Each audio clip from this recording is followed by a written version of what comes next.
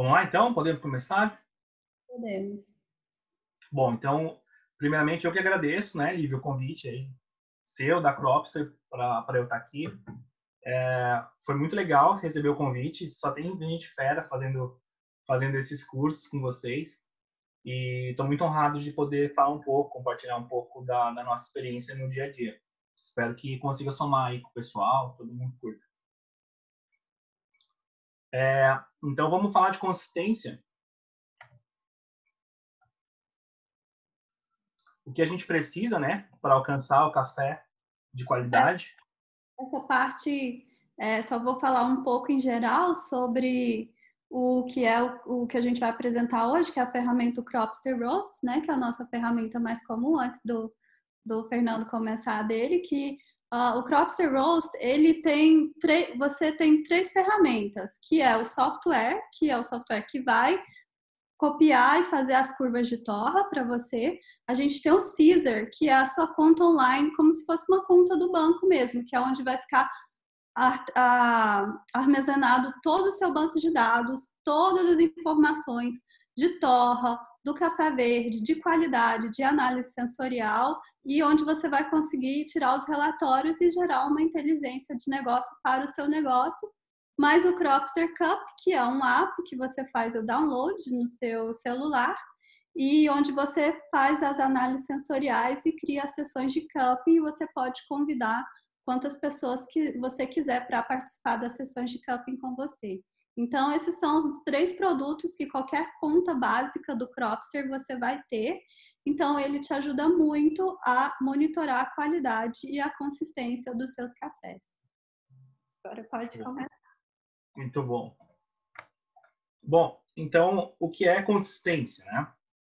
É, para nós da Baristando, para mim, consistência é, por exemplo, eu consegui comprar um lote de cafés, por exemplo, 10 sacas de cafés. E esse café tem como característica ser um café achocolatado com acidez média baixa. Então essa é a característica do meu café. A consistência para mim se baseia em eu deixar esse café com essas notas achocolatadas e acidez média baixa desde a primeira saca até a última. Então, eu preciso manter uma consistência no sabor desse café. Então, a consistência, para mim, é isso. É eu conseguir torrar um café é, assim que eu abrir a saca, abrir o Green Pro, torro um café e ele vai ter uma nota de caramelo com acidez média alta e da metade para o final da saca ele vai continuar tendo uma, uma nota de caramelo, acidez média alta. Então, essa consistência, para mim, é no sabor do meu café. Então, eu preciso sempre estar tá buscando essa, essa é, igualdade de sabores aí para que é, não aconteça coisas ruins ali depois, que a gente vai ver mais à frente.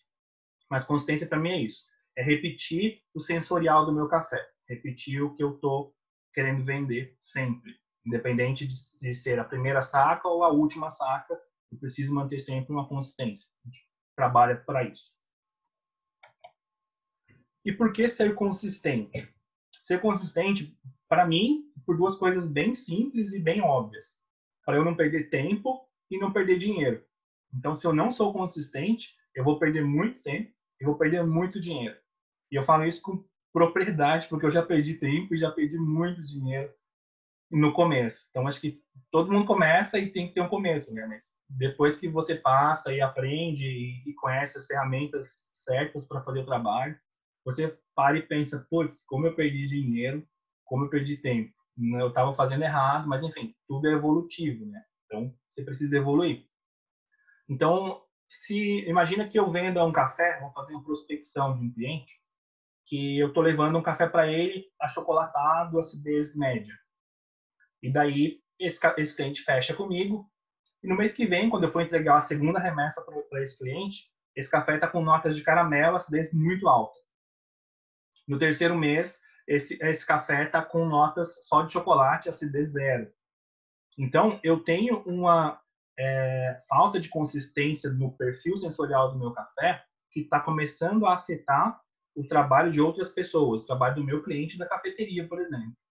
Então, eu vou perder tempo, porque a cada vez que a minha torra for errada, vamos colocar assim, for inconsistente, eu vou ter que ir até esse cliente para ajudar as meninas na solubilidade desse café. Então, torrando mais, torrando menos, solubilidades diferentes e tempos de extração diferentes, tipos de extração diferentes, para expresso, para métodos. Então, estou perdendo meu tempo para refazer receitas, refazer treinamentos, refazer operação. E eu estou perdendo dinheiro, porque eu estou me deslocando, estou me alimentando, enfim. E se tiver muito ruim, eu, posso, eu vou ter que pegar esse café, trazer de volta para minha torrefação e vou ter que trocar o café do cliente. Então, isso também já aconteceu várias vezes comigo. Então, você tem que trazer o café de volta, torra de novo, outro café, claro, né? Despreza esse. E você perdeu dinheiro. Você está dando café para o seu cliente. E no último caso, que não aconteceu comigo, não vai acontecer mais, eu perco o cliente. Então, eu já vi muita coisa acontecendo do tipo também. O, o cliente realmente é, não dá, ele, ele, não consegue ficar levando bronca do cliente dele, no meu caso, por exemplo, as cafeterias. Fica, o cliente da cafeteria fica reclamando que o café não está legal, está inconsistente, não está bom. Semana passada estava achocolatado, essa semana está cítrico, hoje está fraco, não dá crema, dá crema. Então, essa inconsistência toda faz com que o seu negócio fique sempre na corda bamba. Então, você pode correr o risco de perder o cliente. Isso é horrível, ninguém quer, ninguém quer que isso aconteça. Então, você precisa ser consistente, precisa ter essa, essa pegada. Para os pacotinhos, por exemplo, para quem é microtorrefação e vende para o consumidor final, uma falta de consistência seria eu colocar no rótulo do meu café que ele é um café, por exemplo, com notas de mascavo e floral. Então você compra esse café hoje, mascavo e floral. Daqui a um mês, quando você for comprar esse café de novo, 20 dias, esse café vai estar com notas de caramelo, notas de chocolate. Então, pô, esse café está diferente do que eu tomei na primeira vez. Não é isso que está falando aqui na, no rótulo. Então, essa inconsistência faz, faz com que o cliente final também mude. Ah, não vou comprar café da Baristando porque não tem consistência. Sempre que eu peço um pacote de café, ou vem é, diferente sensorialmente falando, ou vem muito ácido, ou vem muito cru, ou vem, enfim. A gente nem está falando de torras é, erradas, que são os, os, defeitos capitais, assim, cozido, torras é, super queimadas, não. São inconsistências em caramelização, consistência em doçura, em sabor, que o cliente do café especial já sente muito hoje. Isso já é fato aquela ideia de ah, o café precisa estar tá forte, está tudo certo, precisa estar tá cremoso, está tudo certo, já foi, já caiu faz tempo. Assim. O cliente que gosta de café de qualidade, ele quer realmente o que está escrito no rótulo. O cara entende. Nos cursos de barista, por exemplo, a gente dá treinamento, curso para gente que só curte café. O cara não trabalha com café. Ele faz curso de barista, barista, métodos de preparo, análise sensorial. Então, quando ele chega na cafeteria, ele está anos luz mais preparado que o cara que vai servir café para ele. Então tá, já está acontecendo muito disso, muito mesmo. Então essa essa falta de consistência faz você perder o cliente, faz você perder dinheiro e perder tempo. Bom, a consistência é um conjunto de ações que começam, para mim, ao meu ver, antes da torre em si. A torre é a cerejinha do bolo. Mas antes da torre, a gente precisa fazer algumas ações, é, alguns movimentos que vão fazer com que eu diminua a margem de erro. Então, se eu me movimento bem, se eu, se eu consigo fazer um, uma movimentação sempre igual, eu consigo replicar isso, todo mundo faz do mesmo jeito, e eu diminuo muito a minha margem de erro, muito. E aí eu deixo o fator clima, que eu não consigo mudar, para mexer só no fator clima. Mas a consistência na minha é, movimentação, por exemplo, eu consigo mexer. Então vamos pensar assim: toda vez que eu falar de um de uma variável, vamos pensar que todas as outras estão a nosso favor. Porque torrar café a gente sabe, na verdade, no café é assim, né? existem muitas variáveis, existem muita, muitos certos, muitos errados. Então vamos pensar sempre que quando eu estiver falando de uma variável, todas as outras vão estar perfeitamente a nosso favor, todas tá? Só para a gente conseguir desmembrar uma por uma entender o que vai mudar um, para mudar outro. Bom, a consistência, ela começa no meu plano de negócios. Então, imagina que eu tenho uma torrefação e ter a torrefação é como se eu fosse ter uma cozinha, um restaurante. Eu preciso pensar onde eu vou colocar o meu torrador, onde eu vou colocar minha balança para pesar o café, como vai ser o meu estoque, como vai ser é, o local onde eu vou selar esses cafés e moer, enfim, como vai ser o fluxo de trabalho dentro da minha torrefação. Por que isso é importante? Para que eu não perca tempo com deslocamento desnecessário, com movimentação desnecessária dentro da minha torrefação. Então, eu já fui ver clientes que acham que estavam precisando de um torrador de 10 quilos, de 15 quilos, porque não estavam dando conta do, da operação que eles estavam. Então, ah, Fernando, estou vendendo muito café. Eu acho que eu preciso de um torrador de 10 quilos ou 15 quilos, que eu não estou dando conta. Aí, quando você vai ver a operação do cara, ele fica mais tempo para lá e para cá pegando um balde de café, pesando, do que realmente torrando café. Então, se você cria um, plano de negócio eficiente, que as coisas estão eficientes ali para você, fica simples. Você não precisa gastar tempo de, de movimentação. Então, a consistência começa aí.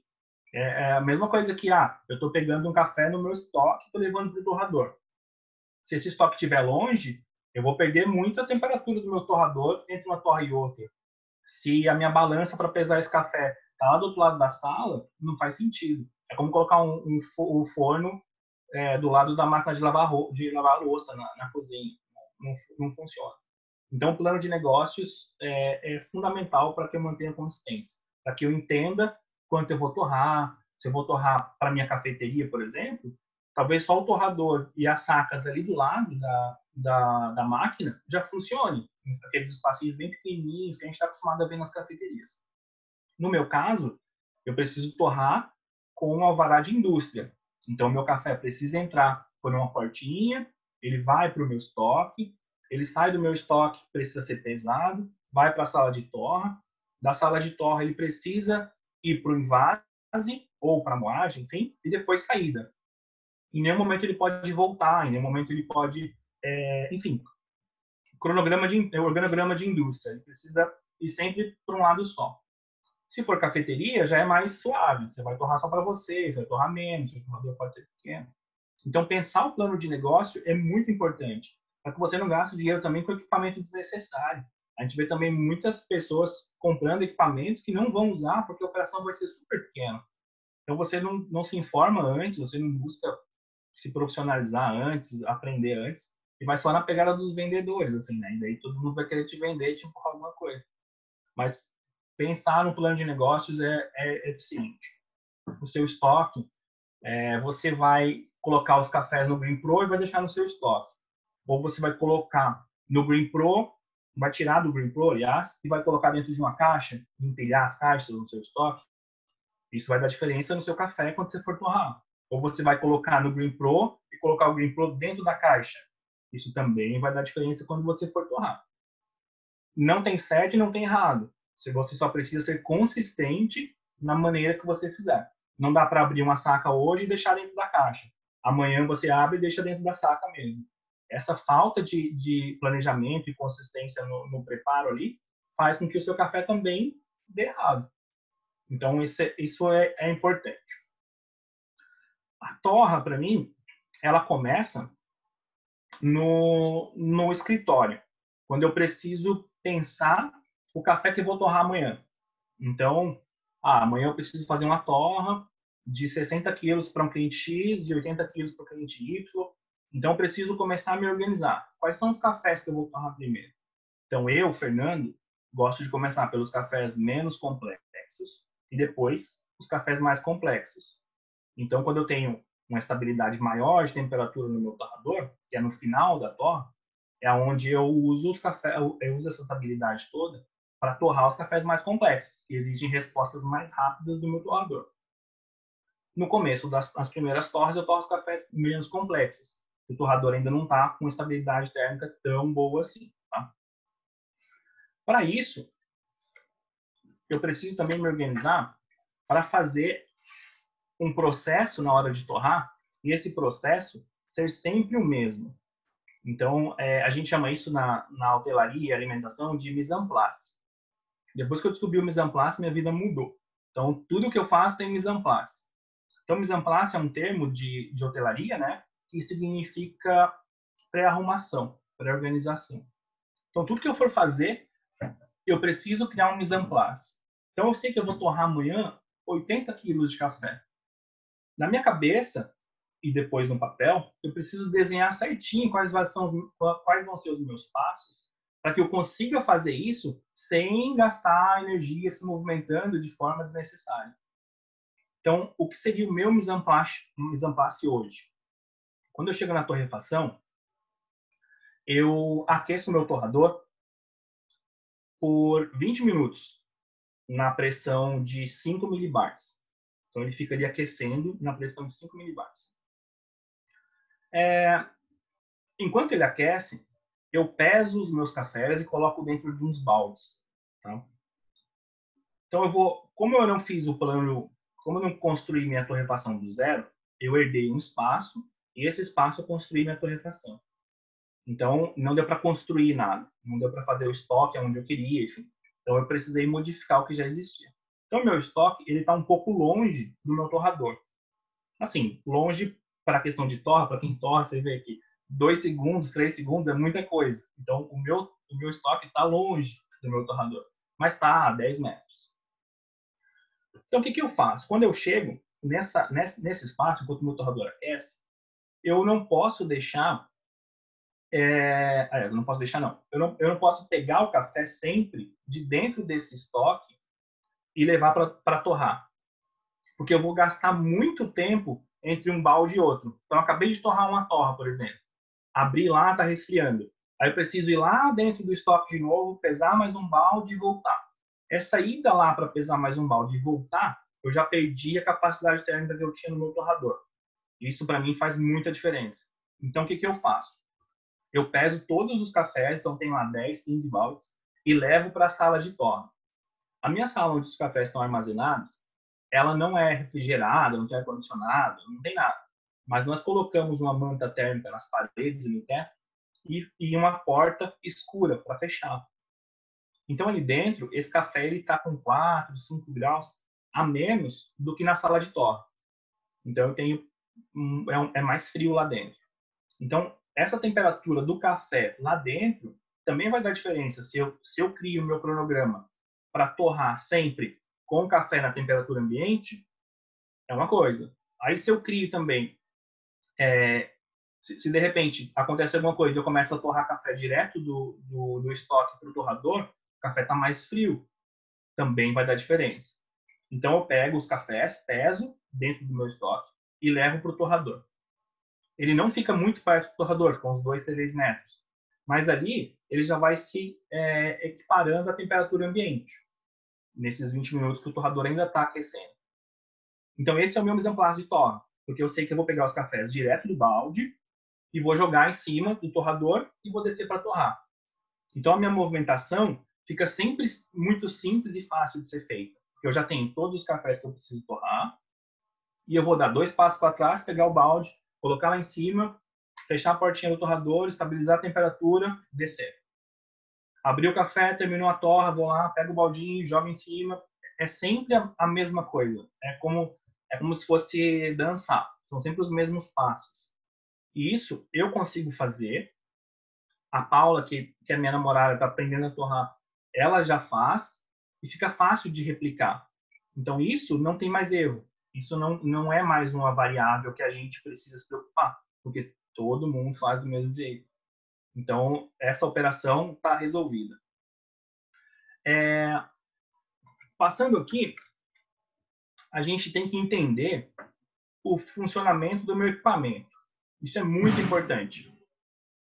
Então, como eu disse no, no começo, eu preciso é, estabilizar a temperatura do meu torrador para começar a torra.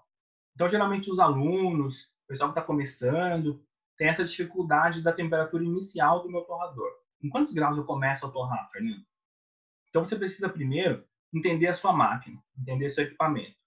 Eu sei que para minha máquina, eu deixando esse, esse gás na pressão 5 milibars por 20 minutos, quando eu fechar a portinha do torrador e começar a aquecer, imagina que eu quero 180 graus para descer o café, tá? Imagina que a partir do momento que ele aqueceu por 20 minutos e ele ficou no 5 milibar de pressão, eu estou pronto para começar a torre e a torre vai ser perfeita. Ponto. Aí imagina que eu cheguei um dia na torrefação, isso acontece bastante, cheguei meio atrasado na torrefação. Nossa, eu preciso torrar um café muito rápido, eu não tenho 20 minutos para aquecer o torrador. Então, o que, que eu faço? Ah, eu vou deixar esse, esse, o gás no 30, vou fechar o ar lá dentro o máximo possível e vou segurar essa temperatura dentro do meu torrador. Em 10 minutos vai estar quente. Muita gente faz isso, muita gente faz isso. Só que quando você faz isso, o seu turn point vai lá em 40. Porque o sistema, a máquina, ela ainda não está quente de verdade. A marcação que você vê é, é só o ar quente que está batendo ali na sonda de medição. O sistema, o torrador, a máquina em si, ela ainda não tem uma capacidade térmica boa. Isso não vai acontecer. Então, se você aquecer rápido demais seu torrador, na verdade, você não está aquecendo rápido demais. Você está vendo uma medição de temperatura que está equivocada. Principalmente se for do grão, porque não tem nem grão lá ainda, né? Tocando na sombra. Então, não, não, não foca tanto, na, pelo menos na primeira torre, nessa temperatura. Procure entender o seu equipamento. Quando que ele está quente de verdade? O contrário disso também acontece muito.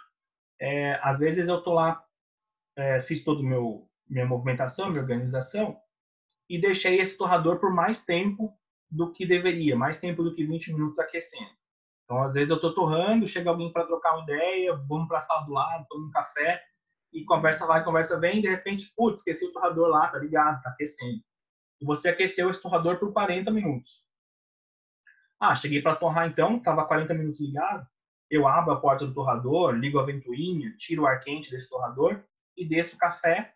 Realmente, eu vou conseguir baixar essa temperatura para 180 muito rapidinho fazendo isso. Só que o sistema vai estar ao contrário, vai estar muito quente. Então não adianta também. Nesse caso, precisa esperar, precisa entender realmente se o seu equipamento está quente demais ou ele não está quente. Eu chamo isso de conversar com o seu equipamento. É como você ter um carro, sabe? Aqueles carros tipo um Fusca. Meu pai tinha um Fusca. Só, só ele sabia como funcionava aquilo, só ele que entendia. E dava super certo. Então você precisa entender o seu equipamento. No caso do meu torrador, por exemplo, tem duas coisas que eu sinto que eu acredito que só eu sinto, assim. E eu não sabia explicar até começar a, a, a passar o curso para minha namorada. Eu simplesmente falava, é só fazer que vai dar tudo certo. E ela me cobrava, mas por quê? Por quê? Por quê? Tem que, ser, tem que ter um. E eu comecei a me, a me cobrar e falar, mas tem que ter um porquê mesmo, né? Faz interessante, não é porque eu quero que tem que ser assim, ou enfim, ela não consegue ouvir o torrador da mesma maneira que eu consigo ouvir. E aí eu percebi o seguinte, a, a mesinha que eu coloco o notebook com o Cropster, tem ali, fica um, um metro mais ou menos do torrador. Quando eu estou sentado anotando as coisas, eu fico com a temperatura, fica ok, não fica muito quente do meu lado. Se o meu torrador está muito quente, eu sinto que meu braço começa a aquecer. Ele fica, eu consigo sentir que em volta do torrador ele fica muito quente. E, e numa condição normal, numa condição boa de torra, que as torras fluem, ele não fica quente. Ele tem uma vedação muito boa. Quando eu é, deixo por muito mais tempo ainda, o torrador começa a raspar, né? Ele começa o, o, o tambor começa a raspar naquela naquela tampa da frente. Então começa você começa a ouvir o torrador raspando. Então são coisas que você desenvolve você e a sua máquina ali. Você precisa entender o que, que ela quer dizer para você. Então você só aprende isso torrando. E cada máquina vai ter a sua a sua a seu jeito de conversar, de falar com você. Então é importante que você entenda isso, tá? Que você consiga conversar com a sua máquina, que você consiga entender o que ela quer dizer para você. Tudo bem até aí? Aqui, fechou. Aqui é o seguinte, é... tome nota de tudo que você conseguir, né? Os detalhes fazem muita diferença. Então, eu comecei a torrar com planilha, com, anotando coisas na, no, no, papel, no sulfite, enfim. Então, quanto mais você conseguir fazer anotação, melhor vai ser. Mais variáveis você vai ter para brincar. Então, quando a gente começa, a gente pelo menos marca a temperatura inicial, e os tempos ali, né? O tempo de seca, quanto tempo esse café demorou para secar, quanto tempo de maillage foi esse café, quanto tempo de desenvolvimento. Obviamente você marca tudo errado, porque você precisa focar no café, focar no que está acontecendo, é bem difícil. Mas quanto mais informação você marcar, melhor vai ser. No caso aqui, que eu coloquei como exemplo para gente, eu coloquei que esse café, eu coloquei a temperatura da sala, estava 28 graus, a sala de torre, a umidade, que estava 53%, coloquei que estava sol, e a densidade do café 720. Por que isso? Porque quanto mais eu conseguir anotar isso, melhor vai ser para mim. Mais eu vou ter variáveis para entender o que está acontecendo e mexer. Ah, Fernando, tudo bem, mas você torrou num sábado de manhã que tinha sol e não tinha nuvem, estava no céu de brigadeiro. Então significa que esse café que foi o melhor que você fez, você só vai fazer no sábado de manhã quando tiver céu de brigadeiro? Não, não significa isso. Significa que eu vou saber quantos graus estavam naquele sábado de manhã, que umidade estava naquele sábado de manhã e o que estava acontecendo naquele sábado de manhã. Para que se um dia eu for torrar segunda noite, eu consiga mexer nas variáveis para conseguir o mesmo resultado. Eu acho que essa é a pegada do mestre de torras e de uma pessoa que simplesmente torra café. Você tem que entender quais são as variáveis que você pode mexer. Por isso, anotar. Se eu não anoto, eu não sei. Ah, realmente, eu tenho que torrar só sábado de manhã quando o céu estiver azul, porque senão vai dar tudo errado. Mas se eu anoto e se eu tenho essas, essas variáveis é, muito bem estabelecidas para mim, eu consigo mexer nelas. Eu consigo saber como é que estava o dia, na, como é que estava o clima naquele dia, se o café estava com densidade X, se o café, vou saber quando o café perder densidade. Então anota, anota bastante.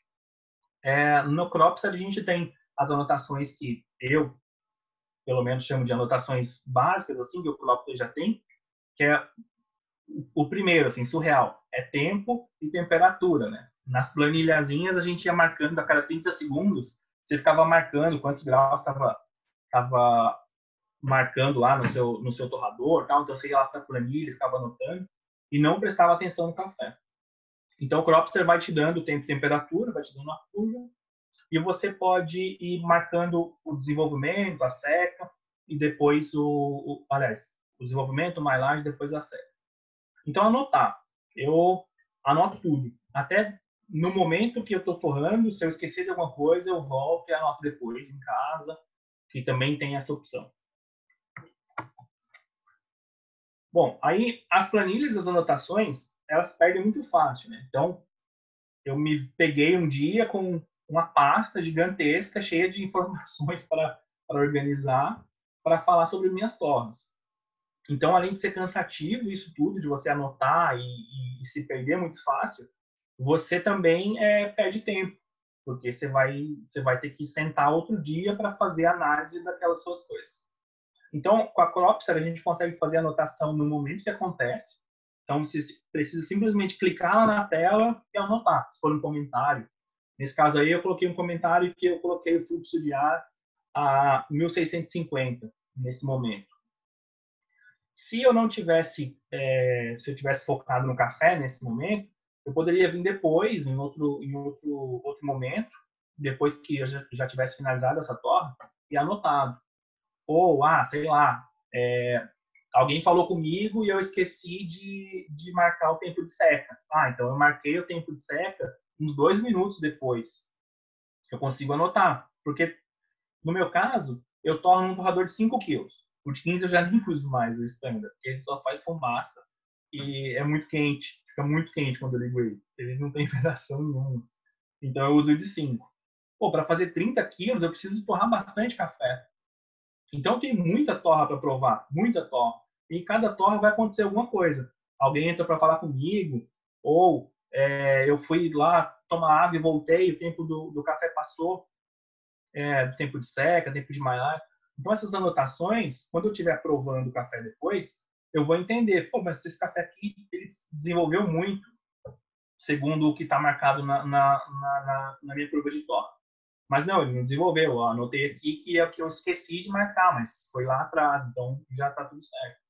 Essas anotações vão fazer eu não me perder.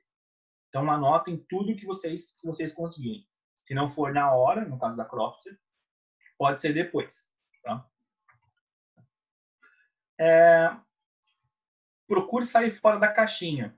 Isso eu sempre procurei e eu acho que todo mundo tem que ter as suas verdades próprias. Assim, eu acho que no mercado de café, no mercado de torra, não dá para ter verdade absoluta. Tá? Então, isso serve para o expresso, para métodos de preparo e para torra muito mais, acredito. Porque cada espaço, cada torrador, cada máquina, cada é, altitude que você for torrar é uma, é uma variável diferente. Então, muita gente me fala, ah, amigo, mas você torra com, com o torrador a quantos graus? Você desce o café a quantos graus? Mas que café? Que, onde você está? Onde eu tô? Que torrador você está usando? Onde que está a sua sonda que está marcando o, o, a sua temperatura? Às vezes, seu 180 que você está marcando é diferente do meu e tem que tomar muito cuidado com isso. Então, a gente precisa fazer as nossas, os nossos é, testes para ter as nossas verdades, com o nosso café, com a nossa máquina, o nosso espaço. Só assim você consegue evoluir. Então, eu vejo que o pessoal, eles querem muitas respostas já prontas, sabe? E tem muita preguiça de, de buscar as respostas. Então, você tem que fazer, é só fazendo que você vai saber. Então, aqui nessa, nesse exemplo que eu separei para vocês, eu coloquei um perfil de torre, que é aquele famoso ah, você fecha o ar, Fernando, quando você está atuando, você deixa o airflow a 50% ou você deixa o airflow aberto a 100%. Aí, para esse café que eu fiz o teste, essa linhazinha azul, que é o 876, eu deixei o airflow a 50% e quando finalizou a seca, eu abri ele a 100%. Então dá para ver que ele tem uma queda né? ele desce total e aí segue o fluxo da torre. E o outro, eu deixei o airflow aberto. 100% na rotação que eu sempre uso. Então dá para ver que ele é mais linearzinho, assim. Para ver as diferenças. E só assim eu consigo saber se para minha máquina, para o meu café, para o meu espaço, compensa ou não trabalhar com airflow aberto, com airflow 50%, 25%. Não dá para saber, não tem regra. Você tem que fazer os testes e entender. O meu teste mostrou o seguinte, que os cafés ficaram muito iguais e o 60 e o 876 ele ficou 0,25 pontos a menos do que o perfil 877. Então, como a maioria do pessoal que torra sabe, a gente mistura os bets, né? mistura as bateladas, principalmente para mim que torra café com um torrador de 5 quilos. Então, você mistura os cafés para ficarem padrão. Então, para mim, para minha consistência, isso não mudou muita coisa entre uma torra e outra, eu torrar com ar aberto a 50 ou a zero, por exemplo, não mudou muito. Para esse café, para esse dia de torra, enfim, para outros cafés, com certeza muda, que eu tenho também essa, esses testes. Mas para mim, para esse caso, não mudou. Dá para perceber que o café ficou bem ok, assim, ficou bem similar. Então, o que, que eu sei? Que não adianta ficar fechando o ar na hora de torrar esse café. Quanto mais eu conseguir, deixa eu passar aqui quanto mais eu conseguir é, deixar minha máquina programada, vamos dizer assim, não sei se vocês falaram, mas programada para as minhas movimentações, vai ser melhor. Porque imagina que na minha máquina eu tenho o airflow, que vai lá de 0 a, 0 a 100, né? Eu tenho uma, a rotação da ventoinha, que tem cinco ajustes já pré-programados eu consigo colocar o número que eu quiser de rotação na ventoinha. E eu tenho a rotação do tambor, que também já tem cinco ajustes, e eu consigo colocar mais a, a rotação do tambor que eu quiser.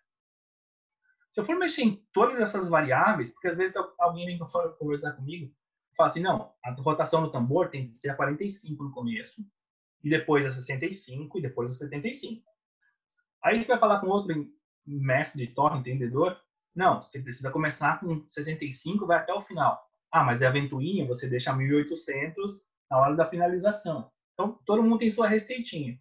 E se você ficar mexendo nessas variáveis toda hora que você for torrar, você precisa ser um polvo, né? Porque é muita coisa para você mexer ao mesmo tempo e não vai funcionar, não vai ser eficiente para você fazer isso acontecer.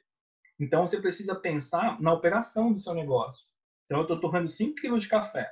Quanto menos eu conseguir me movimentar ali para diminuir as, as margens de erro, e conseguir ser eficiente na minha movimentação, na minha operação, para que eu consiga render mais com meu torrador de 5 quilos, melhor para mim. Se isso está me dando um perfil sensorial agradável, se é isso que eu estou buscando, tá ótimo. Eu não tenho por que ficar mexendo em muitas coisas, criando variáveis, sendo que eu não vou usar.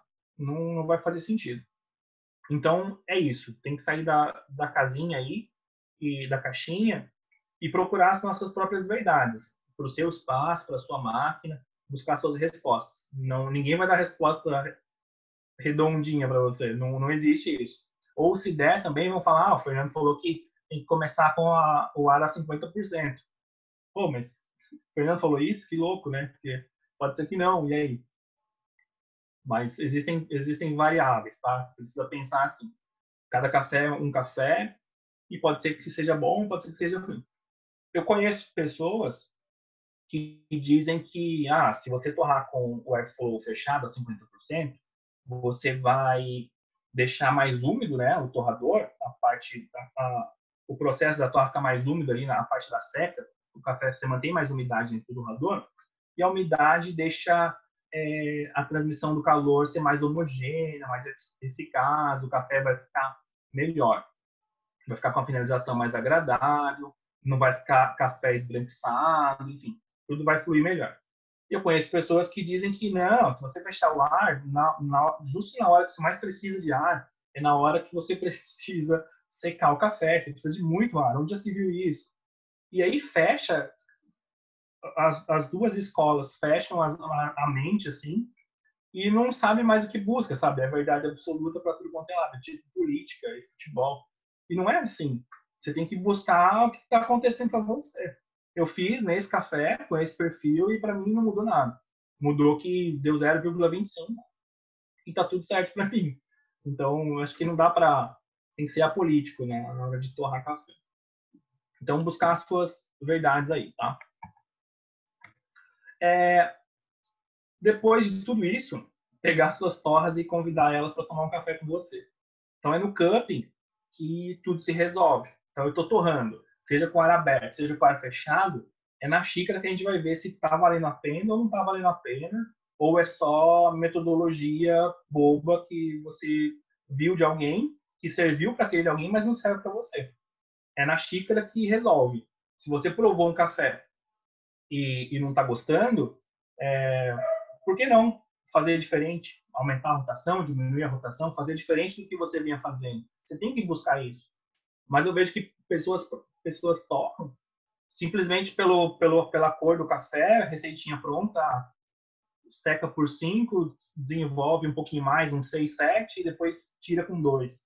E fica nisso para a vida inteira e acha que o café não muda, que as coisas não mudam. Então, tudo muda o tempo todo. Então, você tem que provar seu café. É, se você não conseguir provar, eu também não estou falando de, de kill grade, nada do tipo, é, é entender se o seu café está passando aquilo, aquela consistência que você pregou no início. Então aí eu tenho umas torras, são duas, sete torras. Sete torras do mesmo café, né? E dá para ver que esse 0,880 foi a melhor torra. Então eu consegui 85 pontos nesse café. E eu consegui também no 0,81 83 pontos. Então foram os testes que eu fiz de perfis de torre para ver o que iria mudar, enfim, o que iria acontecer. Então, como eu disse, por o meu para mistura geral, para mistura para misturar, para fazer o blend de torras, não mudou muita coisa. Para mim, eu consegui manter a minha consistência de sabor. Mas eu entendi que tem um café muito top, tem um perfil, estou fazendo alguma coisa muito boa, eu estou fazendo coisas bem boas aqui em cima, no PR 886, no 885, mas o 882 e o 881 eu não quero mais. Então eu sei que alguma coisa que eu tenha feito aqui nesse 882 e 881, eu não quero. Então, com a Cropster, a gente consegue provar simultaneamente vários cafés e entender o que aconteceu. Então você volta lá na curva e olha, ah, aqui eu desenvolvi mais, aqui eu desenvolvi menos, foi muita temperatura, foi pouca temperatura. E isso você vai excluindo. Pô, eu não quero isso. Essa, eu estou terminando com 2 graus a mais. Pô, eu, esses 2 graus a mais está me dando é, um sabor indesejável na finalização do meu café. Eu não quero. Então eu sei que esse perfil 881, 882 exclui, ponto, acabou. E consequentemente, a sua próxima torra vai ser sempre melhor. É uma torra melhor que a outra, porque você está evoluindo em cima do gráfico que já foi evoluído, da torra que já foi evoluída. Assim. É sempre uma melhor que a outra. E você só consegue fazendo isso registrando. Né? Se você não registrar e não tomar nota e não provar e não for para a xícara, não adianta. Como eu disse, o meu torrador é de 5 e toda vez que eu vou torrar 10 quilos, eu preciso torrar 4 quilos por vez, né? Então eu preciso torrar 3 quilos de três baldes com 4 quilos cada, para ter 10 quilos. Então, para cada torra que eu faço, eu tenho três perfis para provar. Por mais que eles sejam idênticos, alguma coisa vai acontecer no meio do caminho e um, dois graus a mais, dois graus a menos, enfim, desenvolvimento a mais, desenvolvimento a menos, que vai dar diferença. Então, provem o café. No meu caso, esse 881, ó, eu peguei as três melhores torres. A primeira, que foi a 880, depois a 886, que deu 84,75, e a que não foi legal, que foi a 881. Então, provando, as, olhando as três no, na Cropster, ops, foi mal. Então, olhando as três na Cropster, pelo desenho, até que parece são similares, assim. São torres que, ok, parece que está bem diferente, está tá bem igual. Mas, para dar dois pontos de, na prova, é uma diferença bem grandinha. Então, dá para ver aí que na 881, o desenvolvimento foi muito longo então, eu desenvolvi por 2,15, por exemplo, 21%, quando eu vinha desenvolvendo aí entre 14% e 18% para ser um, um, café legal. E o, o Maillard foi pouco, né? Então, eu, eu fiz poucas, causei poucas reações aí nesse café para que ele não apresentasse doçura, o sabor ficou bem bem fraquinho, assim, não, não consegui desenvolver muito nesse café. Então, eu sei que esse perfil 881 eu não quero mais. E eu vou sempre trabalhar com o 880. Então, 880 é sempre o meu perfil agora que está no fundo, está espelhado. E eu vou sempre usar esse perfil agora para as minhas próximas torres. E entre uma torre e outra, como eu disse que eu torro bastante, vão acontecer esses, vamos chamar isso de deslize, tipo esse do, do 886, e pode ser que isso tenha dado certo, pode ser que ele teria ficado melhor que o 880. E aí essa vai ser a minha próxima torra a ser batida, vai ser minha melhor. E eu acho que tem que ser assim. E se eu não conseguir, se eu não tiver essa ferramenta, como eu vou saber? Porque está praticamente idêntico, olhando sem anotar e sem nada, o jeito de fazer da maneira empírica, assim. Você secou por dois, três minutos, você desenvolveu por cinco minutos e você você fez mais nada de cinco minutos e você desenvolveu por dois. Então é para quem não está anotando, para quem não toma nota, parece que realmente você fez exatamente como outra. E aí você vai colocar a culpa, sei lá em quem. E a torre não ficou legal. Você vai totalmente no achômetro. Então, desenvolvimento muito longo e pouco maior foi o que, o que aconteceu nessa. Então, provando as torres e analisando, é, você sempre vai fazer com que a próxima torra seja melhor. Eu acho que esse é o que a gente busca, né? Você torrar sempre um melhor que o outro. Às vezes o pessoal até me zoa, assim, mas não é, não é, não é zoeira. Porque, Fernando, o que, que você está fazendo? Tô torrando. Aí, de repente, eu ligo, principalmente para cliente, assim, que já dá intimidade. Fala, cara, minha torra ficou fantástica, animal, você tem que provar. Aí o pessoal, putz, de novo, toda semana você fala isso. E, assim, é uma sensação boa, porque você conseguiu atingir um nível muito bom de, de sabor que você não vinha atingindo. Mas aí você fica pensando, mas então semana passada como é que era? Então, será que não estava tão bom assim? E aí fica esse esse mix de sensações. Assim. Mas eu acho que a próxima torra vai ser sempre a melhor, se você controlar certinho e, e querer buscar. E a xícara que vai te dizer, tem que provar. Então, para isso, a gente tem, né, o, esse, esses, essas provas, elas foram feitas no Cropster Cup, consegue fazer pelo celular, pelo notebook, também você consegue ter uma, uma análise de dados muito boa, porque você não precisa ficar pegando aquelas planilhas e folhas de avaliação sensorial que vai juntar também um monte de, de papel na sua gaveta, e você precisa de pessoas ali fazendo, né? Precisa estar tá, tá rolando. É, eu tive uma experiência legal com o Cropster Cup há pouco tempo, que foi o Grader por um dia, que a gente promoveu lá na Bastando. Foi muito bacana ter o cliente final, os, os clientes de cafeteria, entendendo como que era o, o, a prova, né? Como que era provar café. Então foi bem na pandemia, assim, foi meio louco. Acho que o pessoal curtiu bastante. Mas meia pandemia a gente eu torrei, acho que três ou quatro amostras e despachava pelo correio para a galera. E aí eles faziam, fizeram o cadastro na Cropster e todo mundo tinha acesso ao Cropster Cup. Então eu provava esses cafés e pontuava. E depois eles provavam e pontuavam. E aí a gente fazia um, uma videoconferência para entender um pouco mais sobre as pontuações deles, alinhar, entender, ah, mas o que é balanço, o que é acidez, eu dei 8 para acidez, ah, eu dei 10. E aí você começa a calibrar assim o pessoal e teve uma aceitação muito boa. E isso foi graças ao Cropster, porque você consegue fazer de qualquer lugar, foi muito simples, prático, todo mundo curtiu pra caramba. Então é legal você ter uma, essa ferramenta. Você consegue levar para qualquer lugar, é no seu bolso, né? Tá no celular.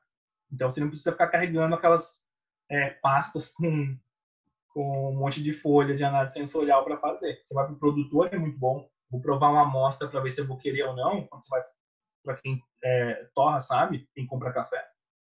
Você vai provar café no produtor, ele coloca a mesa dele mais um pouco que ele tiver para você provar, coloca tudo. Então, se você tiver com o celular ali na mão, é muito mais prático do que você ficar mexendo na planilhazinha, né? Mexendo na, na prancheta. Então, facilita muito. É, aqui, é, eu sugiro também que a gente crie um banco de dados com provas do mesmo café em diferentes datas. Isso vai ajudar a gente a entender o tempo de vida do café verde e achar algum erro que talvez esteja no estoque. É, eu, eu coloquei esse erro do estoque porque foi uma experiência que eu tive com um cliente que o café dele não estava ficando legal. Então, ele, ele, ele não tinha consistência, porque o café dele chegava bom e passava ali uns 30, 40 dias, o café dele já não era mais bom. Então, ele não tinha essa consistência. E, na verdade, o que a gente descobriu é que o erro dele era um erro de estoque ele estava pegando o café dele e ele abria o café, vinha no Green Pro com aquele, aquela braçadeira, né? Aquela braçadeirazinha de plástico. Então, aqueles cafés que estavam ali fechados eram muito bons. A partir do momento que ele abria, ele só pegava a saca, ele dava uma enroladinha e, e fechava. Então, esse café, ele, ele perdia muito. A salinha dele não era igual a minha, ele deixava ao lado do torrador, era um ambiente mais aberto. Então, esse café ficava aberto. E na cabeça dele, só por ele ter fechado o saco, assim, coberto, já estava bom pro café. E não estava. Onde ele estava é, era muito quente, batia muita luz, era um local muito aberto. Então isso prejudicava o café dele. As primeiras torres que ele fazia é, ficavam excelentes, ficavam muito boas. Mas no final da saca, da metade do, da saca para o final, o café era ruim. Então isso é um erro de estoque. Então você está perdendo grana porque você não prova o seu café sempre. Ele não provava, ele só torrava. Então, ele não, segundo ele, ele não é aprovador. Mas você tem que provar, você tem que saber o café, o café que você está vendendo, o produto que você está trabalhando. Então, com o Cropster também a gente consegue fazer isso. Você prova hoje, vai provar daqui um mês, vai provar daqui três meses. E daqui três meses você consegue voltar no que você fez três meses atrás. E isso te dá uma, uma visão muito melhor do, do seu negócio, de como tá, como seu café se comportava seis meses atrás, no começo da, da safra. Ele está perdendo quatro pontos, ele se mantém estável, até para você dar um feedback para o produtor, né? Quando você é, é micro, nanotorrefação, você está muito ligado com o produtor. Então, eu preciso falar para o pro produtor que, putz, seu café, cara, tá, já entrou na outra safra, tá quase acabando já, mas ele tem uma consistência muito boa. Seu café não perde, ele fica muito consistente. Então, o produtor sabe que o jeito que ele está embalando, o jeito que ele está fazendo esse café chegar em mim, tá ótimo, tá muito bom. Ou não, tem algum defeito, algum problema.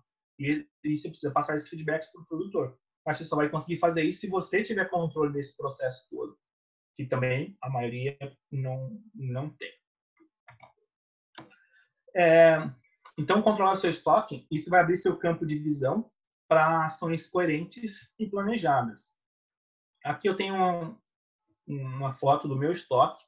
Então, aquele café chocolate é um catuai amarelo, que eu, eu chamo de chocolate, que é um perfil que mais sai para gente. É o perfil de cafeteria, é o perfil de doceria, confeitaria, enfim.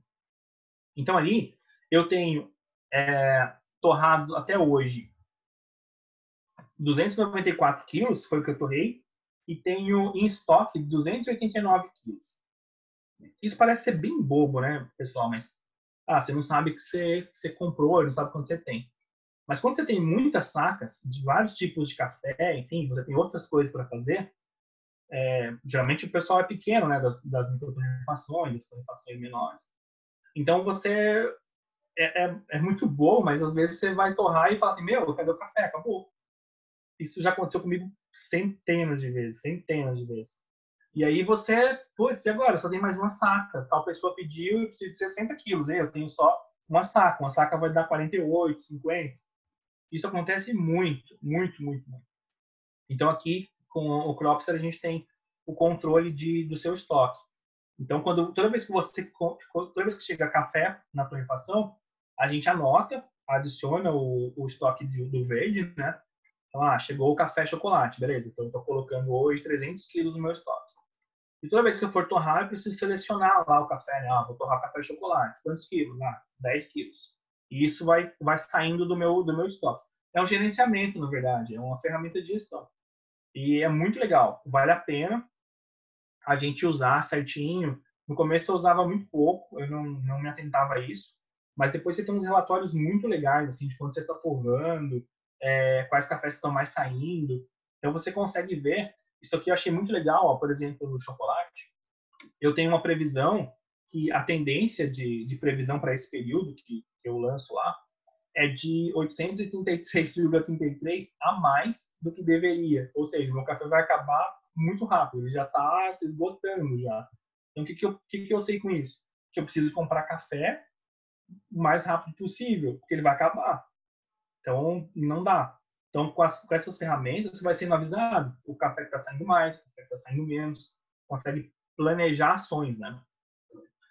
É, vamos trabalhar no, como exemplo mesmo o chocolate lá, que são os 289 quilos. Quando eu clico no, no chocolate em específico, eu tenho aqui, ó, o meu, minha quantidade de café inicial, eram 660 quilos, e tenho o que eu tenho no estoque hoje. 289 quilos, tá? E aqui é a minha previsão desse café. Então, a previsão para ele é dia 23 do 11 de 2020, então é mês 11, tá? Então, você compra café. Ah, eu comprei um café uh, em agosto do ano passado. Eu quero que ele me dê até agosto do ano que vem. O que eu sei é que esse café ele está acabando. Então, nesse caso aí, eu preciso comprar café antes, antecipadamente, para que se eu tiver só uma saca, quando eu for comprar esse café, se eu não tiver gerenciamento do meu estoque, o produtor vai dizer o seguinte: pô, Fernando, mas você tá me ligando em cima da hora, você precisa de café? Meu café tá todo em coco ainda, eu vou ter que limpar. Aí, para limpar, emergencialmente também, lá na, no cara que limpa, na máquina, na cooperativa, sei lá onde for, vai custar mais caro. Então, automaticamente, o custo do seu café vai subir só pelo seu imediatismo. Então, não rola, não dá para ter. Então, você precisa controlar seu estoque para que você não tenha que pagar pelo imediatismo. Então, ter um controle de estoque é fundamental, principalmente para quem é pequeno, porque se você precisar ir comprar duas, três sacas de café de uma hora para outra, você não está você não tá programado para isso, né? E aí você vai você vai passar por dificuldade. E aí eu tenho eu consigo um, um gráfico muito legal na Cropster, que é esse essa projeção de saída, né, para eu alinhar. Então eu até sugeri alinhar com o departamento de vendas. Então, olha só, no meu caso, a gente tinha 600 quilos lá, 660, com a previsão para novembro desse ano. Então, eu sei que eu estou vendendo muito café. Então, se não, se não fosse a pandemia, com certeza esse café já teria acabado. Não teria, porque a gente está ligado na, no, no estoque agora. Mas é um café que está vendendo muito e vinha crescendo muito. Então, ele iria acabar muito rapidamente. Assim. Então, eu consigo, com esse, só com esse gráfico, que não sou eu que faço, não tem trabalho nenhum, já está tudo pronto lá no, no, no site da Cropster, ele vai te dando, você só alimenta isso. Então eu sei que hoje eu tenho é, que pegar leve com esse café. Então, se eu tivesse um outro cliente interessado no meu café, esse café eu não apresentaria para o meu cliente, porque senão eu vou ficar sem café no meu estoque. Eu tenho que buscar uma outra alternativa para ele.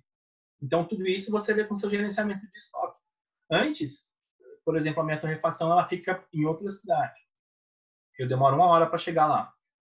Quando eu não tinha esse gerenciamento de estoque, se alguém me pedisse um café hoje, fala, ah, Fernando, eu queria fechar um negócio com você, eu vou usar 20 quilos por mês. Vamos, me traz um café. Eu ia ter que até a torrefação, contar quantos quilos eu tinha em estoque, para ver qual café que eu ia oferecer para o cara.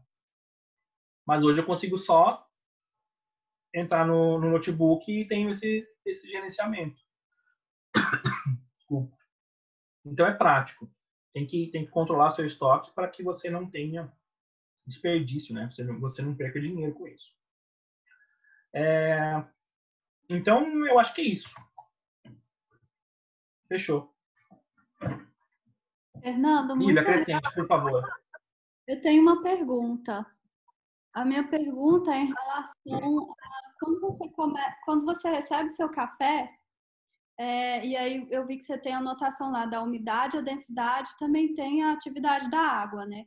Qual dessas variáveis é mais importante na hora que for torrar? Se a densidade, a umidade, ou se todas elas são importantes? E quando você recebe o mesmo café e ele vem com a densidade diferente, umidade, como que você é, faz com que a curva, o perfil de torra seja igual? Que no sensorial o café saia diferente? Se isso influencia. Tá o que eu uso lá, na verdade, aquela medição de umidade é a umidade ambiente, tá? Não é, o, Não é o a umidade do, do, café. É a umidade da temperatura ambiente. Uhum. O que eu uso bastante é a densidade do café. Isso eu uso bastante. Então, a gente sabe que até 800 seria uma densidade bem alta e 600 uma densidade bem baixa. Geralmente, os cafés, principalmente nessa época do ano, se for um café do ano passado, deve ter aí os seus 720, 710 de, de densidade. Então, eu uso bastante a densidade. Assim. Se eu tenho um café denso, significa que denso é duro, né? Ele tem muito, é, muito composto orgânico, ele é um café mais difícil de ser torrado. Exige mais energia, mais temperatura para conseguir desenvolver. Se eu estou torrando um café, é, ele é mais complexo, vamos dizer assim. Se eu estou torrando um café que é menos complexo, ele vai ter menos densidade. E se ele é menos complexo, ele já não tem muito que apresentar. Então imagine assim, que um café que é denso, eu vou trabalhar o maillage dele mais lentamente para que as reações se desenvolvam e eu tenha algo muito exótico lá no final ou muito saboroso, muito elegante, muito top. Se o meu café não tem densidade nenhuma, ele não tem coisas, né? Então eu costumo falar assim, ah, o mestre de torras ele, ele, ele consegue, ele não é, ele não consegue fazer com que o café apresente coisas, não é mágico. Eu não consigo fazer esse café ter notas de, de especiarias se o café não tem nada, não, não consigo acrescentar nele. Então, se o café é pouco denso, quanto mais rápido você torrar ele, na minha concepção, vai ser melhor.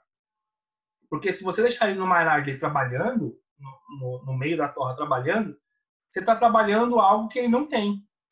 Então, você só está perdendo água para as reações não acontecerem, porque não tem o que fazer de reação nesse café. Tá nada. Ele é um café pouco denso.